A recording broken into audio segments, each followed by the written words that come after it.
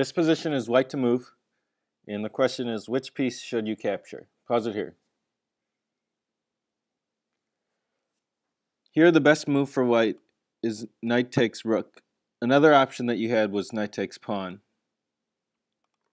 And if we're trying to figure out which is the best move, we have to look at the value of each piece. And the pawn is worth one point, and the rook is worth five points.